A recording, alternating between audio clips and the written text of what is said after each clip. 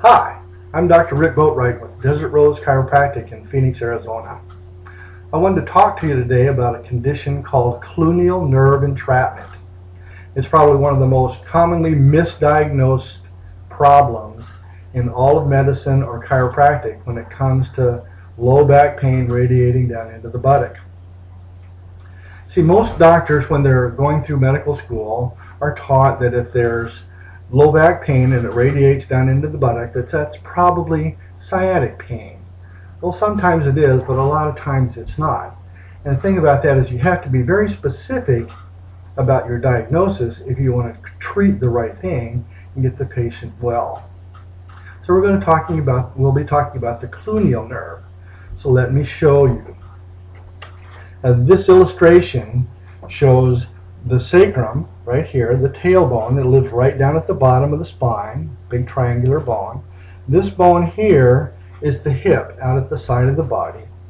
And right here would be the hip socket. The leg comes out like this. So the cluneal nerve is actually out to the side of where these two bones come together. Where those two bones come together is called the sacroiliac joint. And that's where we see that little dimple down at the bottom of our backs. So just to the outside of that little dimple area is something that we call the osteofibrous tunnel. It's kind of like a carpal tunnel, except it's on the hip instead of in your hand. And the cluneal nerve has to come down through that osteofibrous tunnel, and then it goes down to the center of the buttock. The sciatic nerve, on the other hand, is much lower and it's much closer to the center part of the body.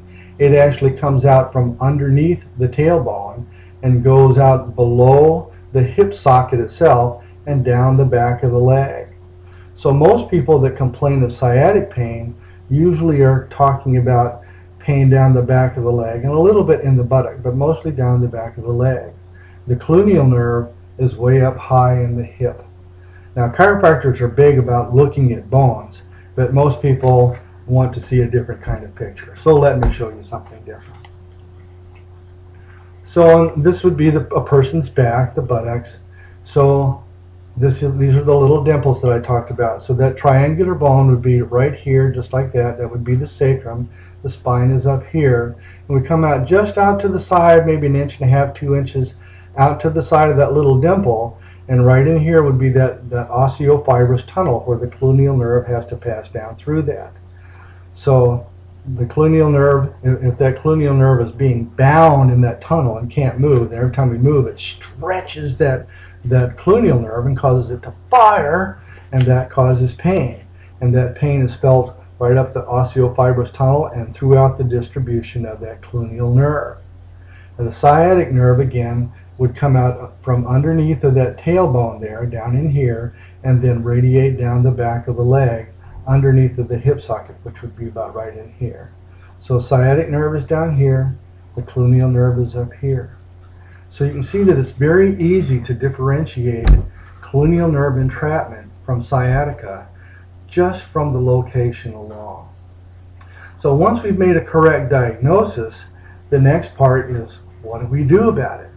Well, because that cluneal nerve wants to get stuck in that osteofibrous tunnel and stretch and fire and cause pain.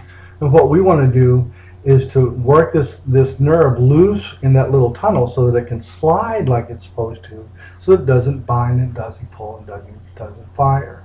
And we can do that a number of ways. And one of the things that we can do is work with an adjusting instrument. This is a handheld uh, single shot uh, adjusting instruments called an activator, and we can deliver forces along the, the length of that nerve to help work it loose so that it can slide like it's supposed to. Or we can use an electrically operated instrument like this impulse, which delivers several pulses per second. But it does basically the same thing. It would help to work that nerve loose in that tissue that's binding it. Another thing that we can do is to use low-level laser therapy. This is what it would look like. Now don't let the term laser throw you for a loop. This is not a laser that cuts. It's just a, a cold laser, a low-level laser. And uh, it helps to change the way the, the molecular structures work in the cells and that helps to free the, uh, the nerve so that it can move like it's supposed to. It does to the cluneal nerve uh, what we can also do to the carpal tunnel right in here. It helps to free that up and helps it work a little bit better. Helps to relieve the pain.